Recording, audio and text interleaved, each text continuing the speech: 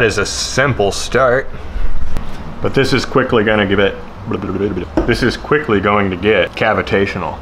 Even that tail is gonna have some cavatory properties to it, cavernous, concaveness. I don't know. Throwing those words out there like they mean something, you know? I do that a lot. Delfino 3 needs a new blade.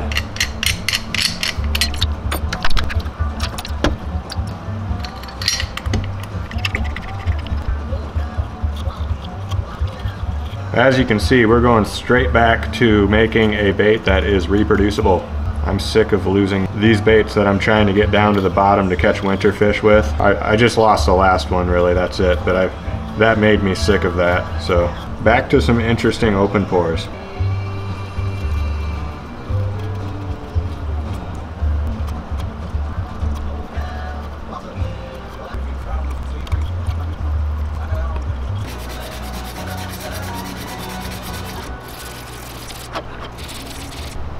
Yeah, without all of the craziness I'm about to add to it, that's a pretty sweet shape.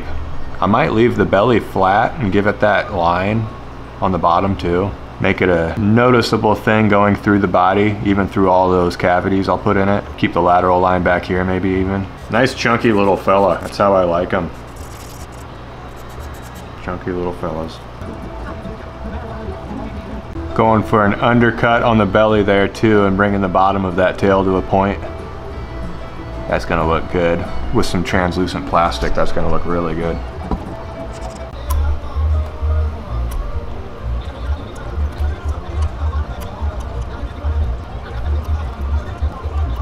I intend to make this super hollow and see what kind of action that has. The big wide hollow tail paddle. So I think whatever I do, I just need to remain consistent I'm gonna use the diameter of this ball as kind of the gauge of how deep to go. No further than it is thick, you know? I want some serious cavitation in the body of this, but I gotta be careful. And it's gonna be random, but I need it to be even at the same time. Random and even, so it doesn't swim lopsided. Wish me luck.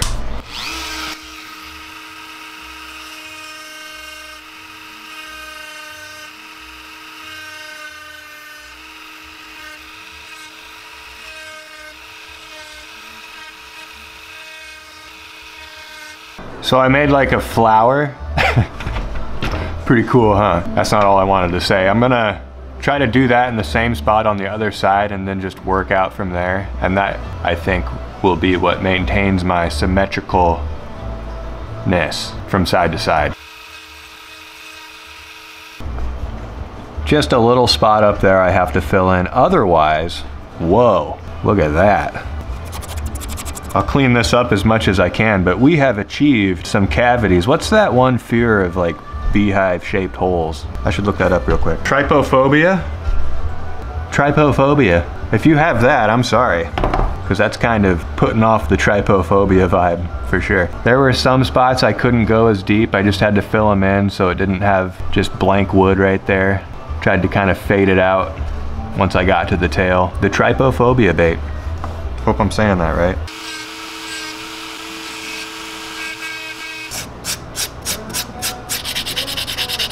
They're all a pretty even depth.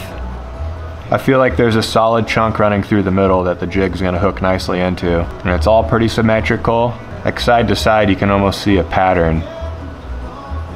Let's get this tail hollowed out.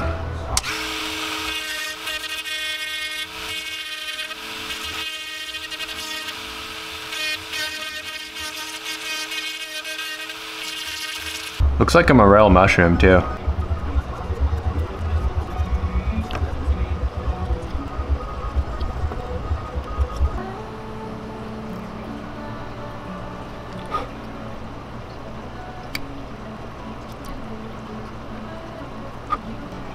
I carved those pretty good. I don't even want to sand them. I want to leave the sharp edges. And then when you put the sealer back over that, they stay really pronounced if you leave them sharp. So hopefully I can do the same on the other side. That is like the name of the game when it comes to lure making. Do the same on the other side. I did the same on the other side. That looks great. I'm getting this bait smooth and it's going smooth. Making sure I'm not leaving any fuzzies anywhere. That's pretty cool. straight to the triple thick. Man, everybody's gonna want a can of triple thick soon.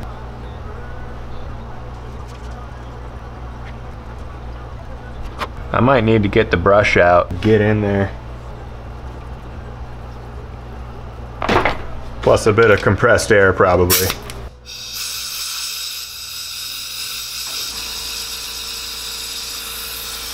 That ain't bad. I think that any consecutive coats are gonna have to be from a fresh can sprayed on. That way it just, a thin coat everywhere lands, hits, and stays. And I don't have any drippage from here. No more drippage.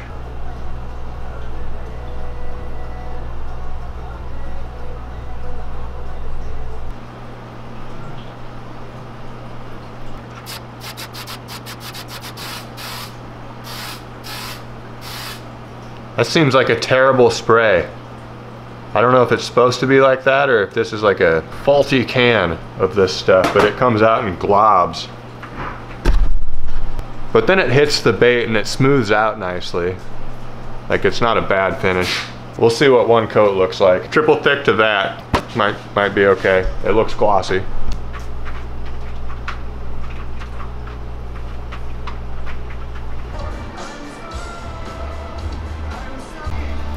Got some super glue up top. It's got a nice glossy, even, beautiful finish all over. We're ready to mold. I'm pretty sure I have the opposite of trypophobia. That's like a pleasing look to me. I like it. It satisfies my mind. Once again, just throwing some super glue down to keep the mold box in place.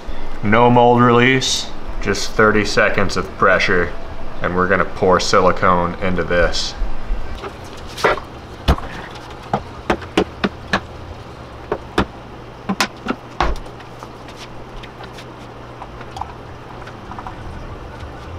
Not a big mold, probably like 10 ounces. I've gotten pretty good at judging how many ounces of silicone go into a mold box. And then I always decide to way overshoot it, just in case, you know. Yeah, like it, ju it just said 10 ounces and I'm putting more in because I don't trust my well-developed skill of judging how much. A couple more ounces. 12.5.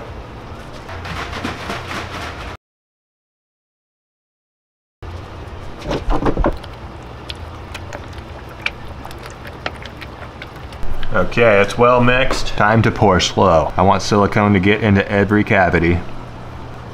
That's a good starting point.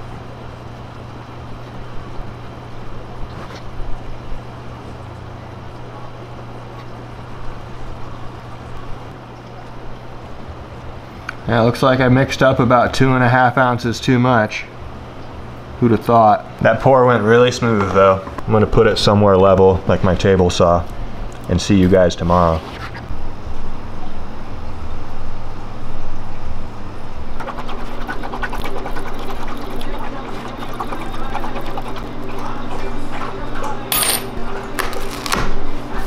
Nice and clean again. That's exciting.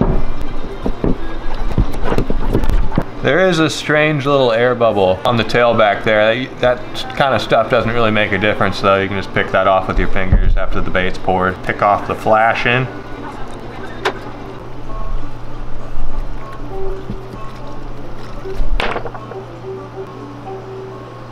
That looks pretty sweet in there. Hopefully that produces a pretty crazy effect. All right, first color, bluish, purplish color shift unvacuumed, a little bubbly. I just want to fill this mold up and see what this thing looks like.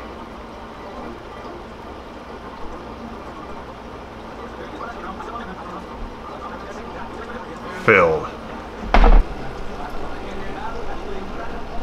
Before even demolding that first one, I noticed an issue. There was air getting caught in those holes and they didn't fill in completely. So I'm trying this again already. But we're gonna brush silicone into those holes first. Really just get it in there. Then put the mold box over. I need a smaller brush. Yeah, that should help a lot. Hopefully that solves the bubble issues.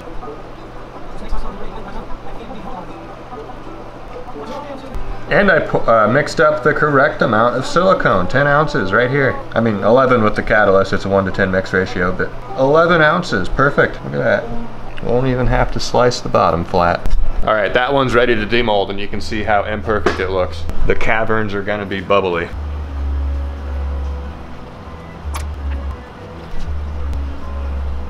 That still gives the effect though. That still looks okay. I don't know if you guys can even tell actually. Like you can tell right there, definitely. There's a bubble inside of the bubble, or the opposite bubble. There's a, there's a real bubble inside of the opposite bubble. That's pretty sweet though. We have an extra hollow tail. I should have just poured this in white. It's harder to tell with this translucent kind of plastic. But we can throw a jig on this and test it in the test tank. Just to see how the tail works. By the way, I should mention that I added a filter to the test tank. And you can treat these things once in a while with bleach. And that keeps it nice and clean, free of algae and mold. Excuse me, Chip, I'm trying to, trying to tell everybody something.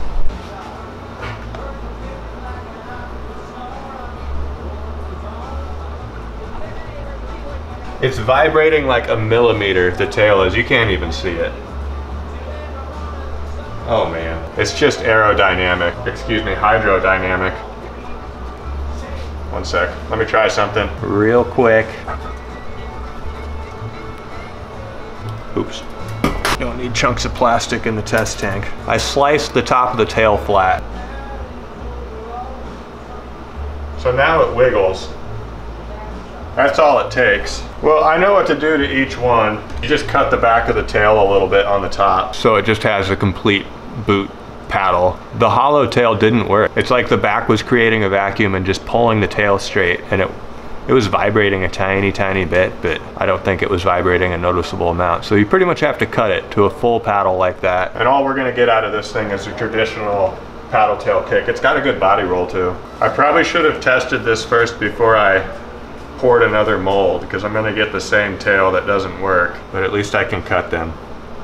Gotta do what you gotta do, especially when you make stupid, get ahead of yourself mistakes like that, you know? Gotta do what you gotta do. Not going as smooth as the last one. The walleye special, you know? That one had an action that was just perfect right off the get-go. And if I'm being real, I noticed no difference when it comes to the body catching water as compared to just a normal smooth-sided bait. No difference at all. That's a pretty good proof of concept though. I knew that. I always try to push it. I thought by maybe creating a vacuum in the back and giving it a concaved back that it would like mess it all up and get it to wiggle. But in this case, having the back of the tail scooped out like that was getting it to pull and it was like it wasn't moving at all. I just went for it anyway, I already knew that. I like the body. It feels soft, very forgiving everywhere. I think the fish will enjoy biting this. It'll feel very interesting to them. They won't want to let go, you know?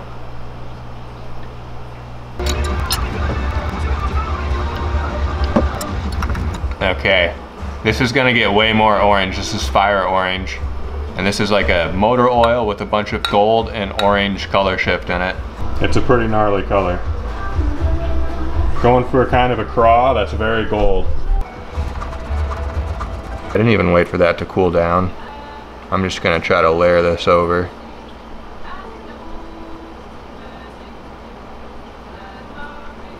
Didn't work, but whatever. that just kind of absolved itself into the other color. Oh, that still churned out all right though. Like those colors bled into each other, but that's all right. It's okay.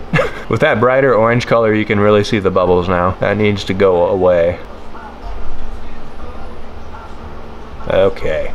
Gold orange color shift. We're gonna fill this up and pour it out.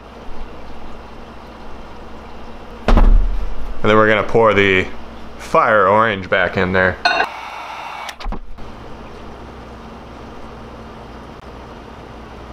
We'll see how that looks with kind of the color shift shell.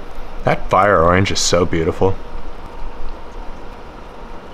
Oh, I know what I should do. I should do a dark color, pour it in, pour it out. It's really thin, and then do a really light color, or vice versa. And that's really gonna bring out the honeycombness. That's what I need to do, because that looks kind of meh in my opinion. Not super tantalizing. Let's get this more tantalizing. This is a dark color, just added black to that uh, color shift, golden orange. Still be a little sparkly.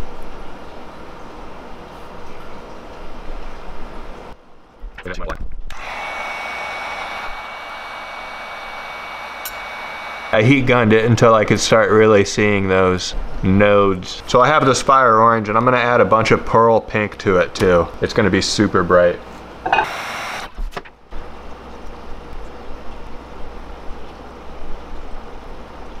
Hopefully this is the best looking one yet.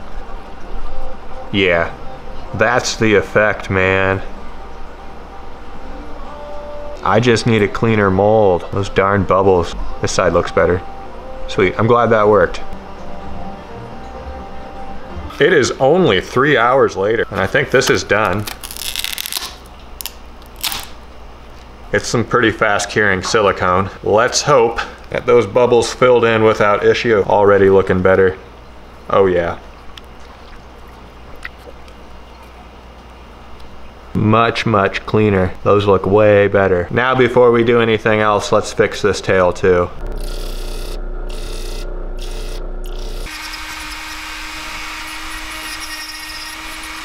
Gave the bottom a bit of a scoop too. It's gonna grab water more. We have a standard, very paddly paddle tail now. Squared off.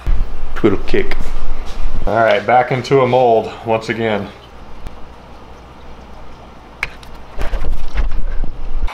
All right, I got some white poured in there. I just heated it back up. Now we're gonna go with a dark color. Same effect, opposite colors. This should be the best looking one yet. Oh yeah. There we go. It's kind of bubbly. I can do a better job. I overheated the top. That makes bubbles when you do that. But there we go. Let's do some more of those. Best one yet. Okay, I think we're finally about to have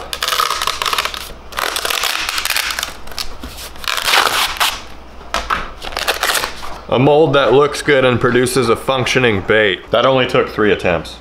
That's all. Looks extra good in there.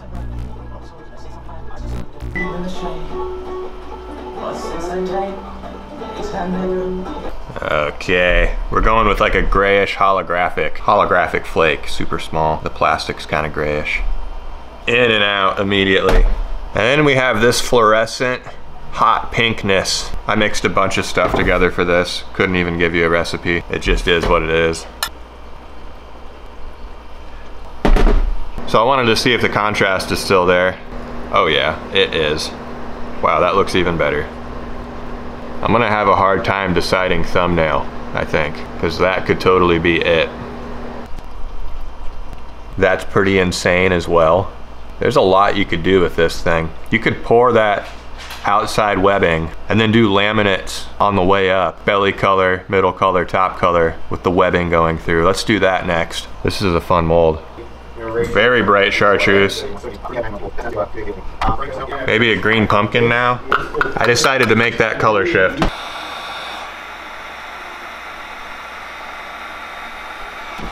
That was a beautiful color shift and now we're gonna go with that gray top.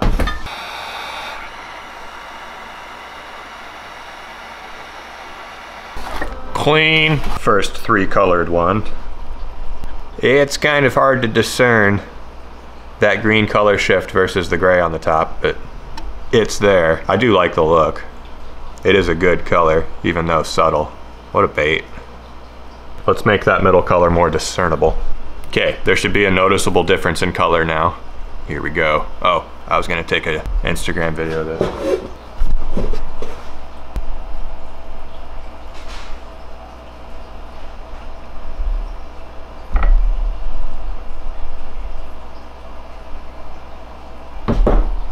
Excuse me. Social media, man. You gotta do it. Dude, chartreuse belly. Kind of got a clown vibe going on. Kind of has a fire tiger vibe going on. Not really, though, because the chartreuse kind of permeates through the whole thing. It's not black stripes. What am I saying? That is like a trypophobic clown tiger. That is exactly what that is. Beautiful. That's my favorite. I, I really doubt I'm gonna beat that. Let's just pour some more in single colors and have a bunch to go fishing with right now. Let's go. So this is a pretty chunky bait, but we're gonna go for pretty chunky crappie at Jesse's. It's really early still, but I think if I go slow, there's no telling.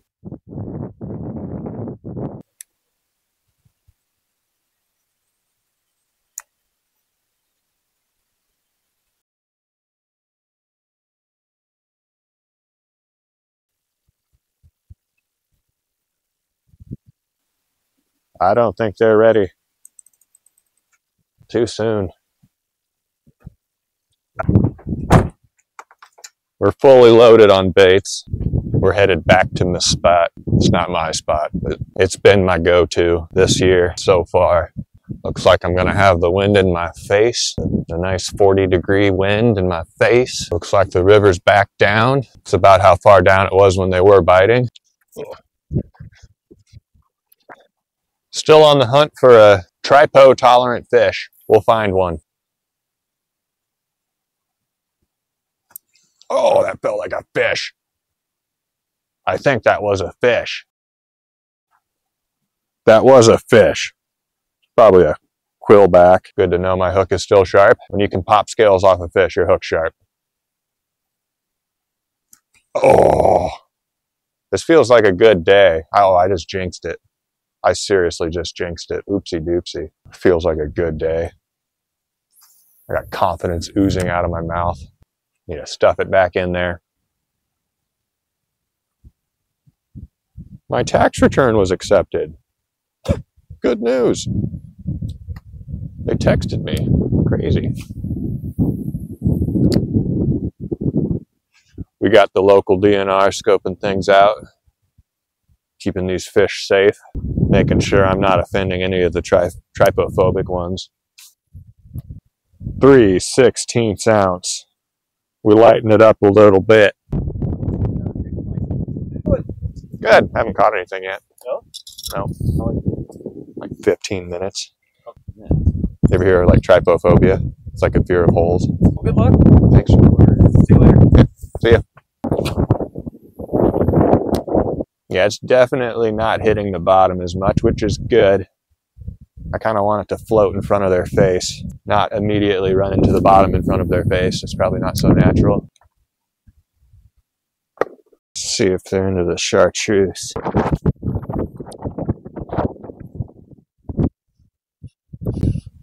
Okay, I think they're into the chartreuse. This thing's staying down too.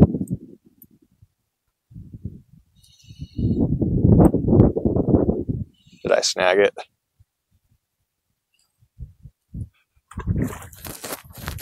That was a snagged quillback. I saw it. Darn. All right, I got a bunch more poured. We're dealing with a chilly 35 degree morning.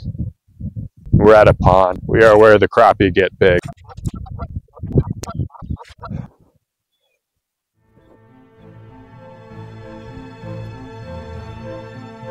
I heard that bait keeper poke through my skin right there, but I did not feel it. It's too cold.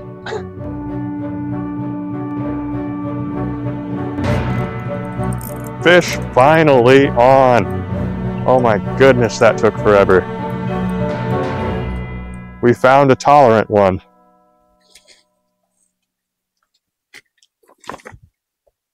It's official.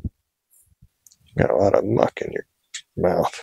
Largemouth bass are not trypophobic. We've made it official. Be free.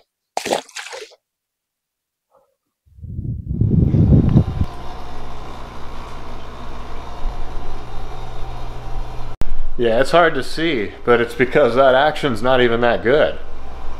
That's 242 bait plastics medium blend.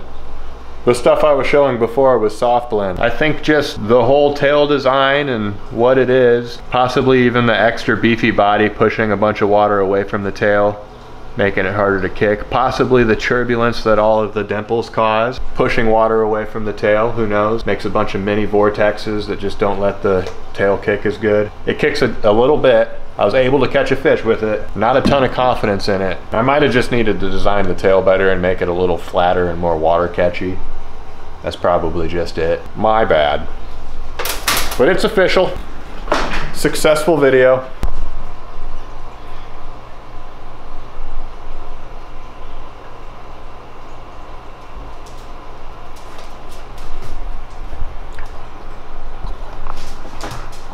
You need outside. I always need outside when I'm doing outros.